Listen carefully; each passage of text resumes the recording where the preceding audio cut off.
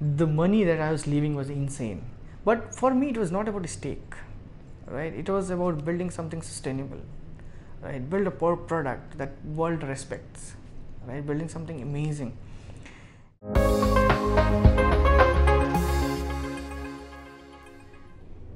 Hi guys, I'm Bhupendra, founder and CEO of Dogsee Chew. Welcome to Backstage with Millionaires. Today I'm going to share my story starting from Nepal, a small village called Urlabari selling vaccines to setting up this doctorate company in Bangalore and selling the product globally in about 11 countries. So I, I actually come from a very small uh, village called Urlabari and uh, our family business was a small pharma shop and uh, we all were involved right? It was more of like not only my dad's business but everybody all of our family's business. Uh, and one moment that i can recall is uh, when i was in class 9 so this hepatitis b uh, threat was uh, like getting bigger. Um, it got into me that why don't we sell it? It's a opportunity for us to make money. Where and people need it right? That is inherent need uh, so I started talking to the distributors. So uh, when I started talking to them, uh, I realized that if we buy in bulk, there is a good discount that we were getting. And uh, I asked my brother, uh, like, let's get it. And when we were discussing, like, he, he started telling me, like, I'm crazy, like, we don't even have customers, and then it's a vaccine is a not top selling product, right? And you can't bank on that so I started working backwards. Right? How do I make it happen? Then I, I thought like uh, this schools would be a good target. So I went and talked to different schools and I, talk, I, I told the principals that uh, like you need to implement this, you need to declare this because it is a threat, number one. Number second is if you tell send your uh, school kids to our uh, place to get the vaccine, you're going to get uh, about some discount, right? I, I, I think it was about 10% that I, I promised few people. And so two schools agreed to get it. Right? We almost finished, I think, one lot order within our pharmacy itself. Right? We did two bulk orders, not one. Right? So that was the first uh, thing, entrepreneurial thing, uh, which I remember uh, that I helped my, my family earn uh, money, uh, and uh, and it get it, it actually gave me a good boost, right? Something I made it happen, even though I didn't know that that was an entrepreneurial thing. I was just doing it as a kid, right? So in Nepal, after plus two, there is a culture that you do not choose college, you choose countries. Which country do you want to go? I thankfully like uh, I got Indian embassy scholarship, so I came to India, and uh, like I started studying in NIT Durgapur in West Bengal. Me and my friend, my very good friend of mine, Binit Thapa, was uh, like with me. So we were uh, discussing about doing some summer project, right? So Binit uh, liked studying uh, astrology so he used to uh, he read palms and read foreheads and numerology used to do. Then i told him like let's build a software of that right? So we started with numerology because it's easier to program. Then we went forward with implementing uh, like uh, uh, the astrology this hindu astrology which is uh, based on kundli we call it. Then like uh, we needed to make it like better uh, like you have to read, you need to read the palms and you need to read the foreheads, right? So we both started studying uh, image processing right then in uh, like third year. So what we, we did is uh, we did the xerox of our hand doing like this, right? And then you get in a paper and you use the image processing technique to read it. But you know what happened was in the college it was a hobby project. We built it it, it we didn't take anywhere. You know after 10 years i actually 10 to i think 10 or 15 years maybe later uh, i got to know that there are uh, there are huge players in astrology right? Even today like i feel that we should have done it and later our the hard disk crashed and then we don't have anything left right? Even today Binit and i sometimes talk about it that we should have done something. Building that actually prepared me to build any product that i can think of so we were 462 uh, people in a in our batch, and uh, and among them, I was the 462nd guy to get a job. most of our batchmates had got a job because they sat in campusing. And as a nepali student a foreigner i was not allowed to sit. And uh, when i came out uh, i thought like i'm more uh, equipped or i'm more willing to do uh, a business job or a consulting job right? And i had read about these fancy jobs uh, about investment banking and consulting right? So i started applying all of those for some time and i, I didn't get any any even i didn't get a call. So i finally decided after about one and a half two months that i should get at least any job. But then i think it was already getting late. So everybody's first question after that would be like uh, why didn't you get a job? The four months passed and uh, i was seriously like uh, started um, little bit to doubt myself but internally i i, I, I thought uh, that there is something wrong there was a advertisement in Times of India saying like if you are from the top college, IITs, NITs, and all those like few of the colleges, uh, and if you have a business acumen, apply. Right? It was from Global Analytics in Chennai. There was a walk-in. So I went for the walk-in, and uh, there were so many people. Right?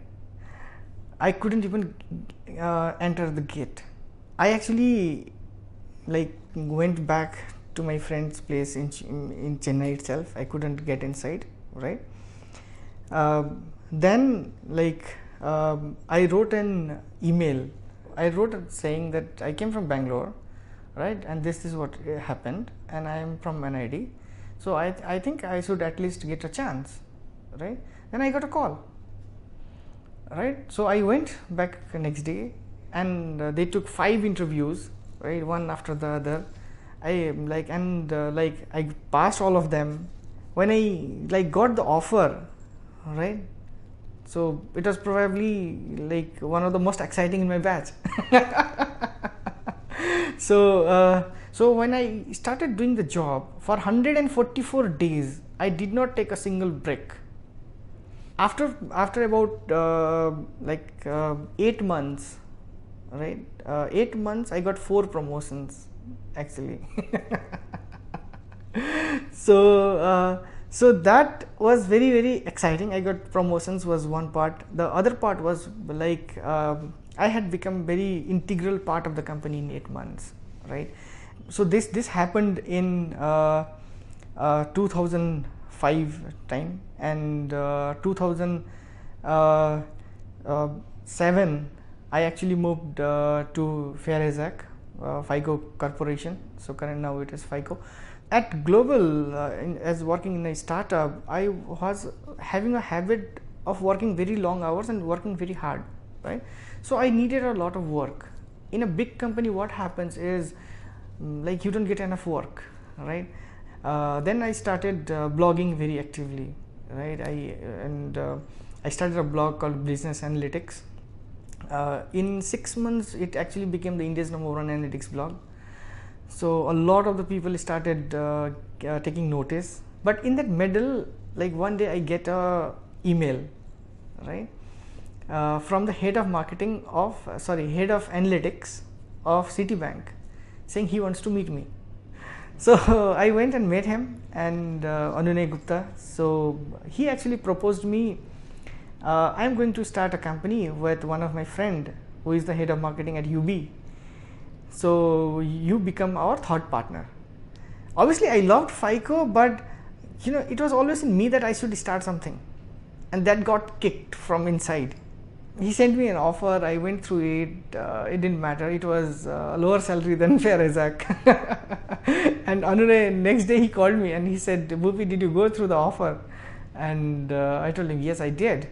So I agreed to it. We did not bargain, right? So uh, we started. Marketelligent had nothing, no website, right? Nothing. So uh, we built it, and after uh, one year, after a year, right, we started. There was some deviation between the company that I wanted to build and Roy and Anunay wanted to build, right? that is when I, I told Anunay and Roy, I called them and I said, it, we were at a, high, at a very high moment, right? But then I told them that I think, guys, it, it's time that I should come out of market and start a software product company and uh, obviously like with my uh, stake that i had at, at esops and everything and the valuation that we, we were growing the money that i was leaving was insane. But for me it was not about a stake right? It was about building something sustainable right? Build a product that world respects right? Building something amazing.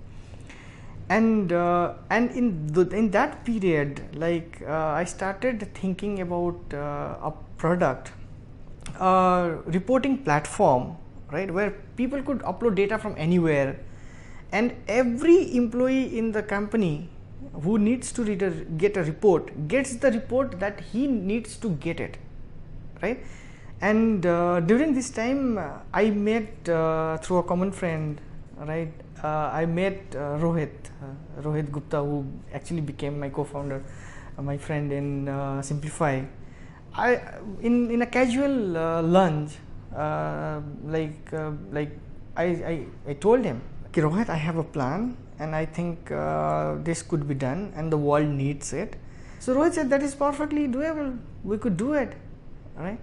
So Rohit, I, and then like uh, like uh, like we got four other friends of ours, right? We were totally six people started so i came out of Marketelligent and we started this company called inrev so, uh, INREV was for in information revolution. So, the company that I gave that name and uh, we started building this. But then another like uh, struggle of my life started because 2008 uh, there was a massive uh, stock market stock market crash right and after that when we started in 2009 january everybody was in the mode of saving their job. Nobody was going to take any risk. Nobody was going to look at any new platforms. And we started discussing like what do we do? Because we're not making money. Then suddenly like uh, somebody uh, like tweeted saying leplan that's my twitter handle you are the most followed guy in india. Then i, I, I called uh, my team. We started discussing. And then we thought uh, why don't we actually build something in social media itself? Then we built a platform called Buzzom, feed social media data. For us was simple. You feed the Twitter API, you feed the Facebook API and it's done, right? So you, we built this and we launched it called Buzzom. So we got so popular like we our users count was just increasing like 1000 10000 and 20000 50000 and 100000 and we got covered in pc world in forbes and like as the top 5 twitter analytics platform in the world pc world covered us like that. Then we we uh, built simplify 360 which uh, is the product that exists today right? Uh, as a social media listening platform we built it. Uh, we built from scratch so this Simplify 360 platform uh, went and became in next two years, right, the market leader in India in the digital and social media analytics space. So we walked through the journey, right. Then we got investment in 2013-14, right, and uh, it took uh, to a decent size. So we're profitable, uh, like 56, 50, about 40, 45, 50 people then I started thinking, I think uh, we should probably have a celebrity sales guy. And uh, and during that time, like I found somebody who was heading the sales for HP Software, wanted uh, to be part of the company. So I proposed him the CEO position. And uh, because I thought, you know, like CEO is a job, right? And uh, Simplify 360 is my baby so it obviously was a, was the most difficult decision of my life, right? I don't think anything was harder than that. But I thought that having Ajay to be the CEO was the most logical step for the company. Then I communicated this to the board, to my friends. Obviously, they were not happy, right? And they said like you was just leaving us in the middle. But I convinced them why it was necessary, and uh, finally I came out right? I remember coming out of the board meeting right? And extremely happy because i convinced them that uh, it happened the way that i wanted. I came out and after half an hour i felt like crying at the top of my voice because i felt like i don't know who i was then. I always told everybody that I'm I, am a Simplify 360 CEO. Anybody introduction was itself that, right? And uh, now what I am, right? What do I do from tomorrow? In the morning I wake up and what do I do? Then uh, after a lot of soul searching, a uh, lot of uh, deep diving, diving into myself, right, and then exploring what I want in my life, I figured out I have only two passion in my life, right? One is analytics and data, the other is food I'm passionate about food. So I figured out that I should do something in food. And I registered a company called Khanal Foods Private Limited without knowing what am I going to do in food. But I thought I have to enjoy, right? So it has to be food. Then as I come from Nepal, so I obviously connected with Himalayas uh, very closely. Then I thought I should start my research from there. So I went there on trip. So we explored a lot of things and I also went with my wife so we had uh, some of the like friends who were running dairies and uh, they they were some of them were making this uh, yak milk chews right? And their complaint was the dogs steal it. Me and my wife see we are like uh, we understood dog. And then when we were thinking about this as a product she told me in the evening our discussion too that i think Bhupi we should drop everything and just take this product. You say yak milk, you say Himalaya, you say grain free, you say gluten free, you say 100% natural, right? People will love it. So, uh, so then like uh, I dropped the idea of doing anything else. So I think this is the product. I got it right. So uh, we zeroed in in that product and ultimately we launched it uh, in few months so we started all this work in september in 2015 uh, february uh, 2016 we had the product ready. Uh, i think about six months later we started getting international queries. So in 2016 like uh, we got an importer from spain. Uh, 2017 early like we got a buyer from uk so so the journey it became very very exciting. Like like year and year our growth rate uh, has been amazing and as we speak like we are selling in 11 countries now. And uh, we just uh, did a, a, massive launch of our second line of product after this uh, Himalayan chews which is called Dogsee Crunch which is the healthy uh, treats another healthy treats for dogs which is freeze dried fruits for dogs right? So we just launched in the global pet expo. So that was our uh, the fifth international event, but the first in the US. We got a phenomenal response, and I'm hoping that there is a lot coming from uh, US. Uh, last month we signed both uh, Japan and Italy uh, distributors, all right, and this is the year that is going to be amazing, and I'm looking forward to that. So this is my story starting from a small village in Nepal called Urlabari, trying to sell vaccines, to setting up a doctorate company called Dogsee Chew and uh, selling it globally. Hope you enjoyed my journey, and if you did, please feel free to share with your friends. And if you have any questions, please comment uh, below. At some point of time, I'll try to answer your queries. And if you have a dog, you can always get our product at dogseechew.com uh, or uh, in a pet uh, shop near near you and if you give your furry kid our product i can assure you that your furry kid will love it and as a dog parent uh, you will uh, enjoy giving out treats uh, with no guilt as it has no preservatives and it is 100% natural. Thanks for watching. Have a nice day.